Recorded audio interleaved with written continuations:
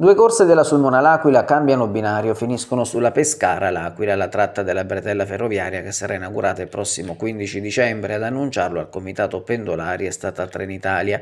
In via sperimentale, essendoci ancora dei lavori in corso per sistemare la viabilità di accesso alla stazione e per la realizzazione del sottopasso, d'intesa con l'assessorato ai trasporti, Trenitalia effettuerà una coppia di corse Pescara L'Aquila da lunedì a sabato, con partenza da Pescara alle 12.17 e ritorno dall'Aquila alle 19.27, spiegano da Trenitalia, facendo notare che non è possibile ampliare i volumi di esercizio in quanto l'organico grafico composto dalle tracce rilasciate da RFI supera già la capacità disponibile della rete, dunque una traccia aggiuntiva interferisce con le corse esistenti, andandone a aumentare i tempi di percorrenza. Una situazione che non scompone la programmazione ma che comunque, secondo i pendolari, crea qualche disagio anche per le sole due corse oggetto di modifica. Un disagio non tanto relativo allo spostamento delle corse, ma per il fatto che i treni della Pescara l'Aquila non osservano osservano tutte le fermate.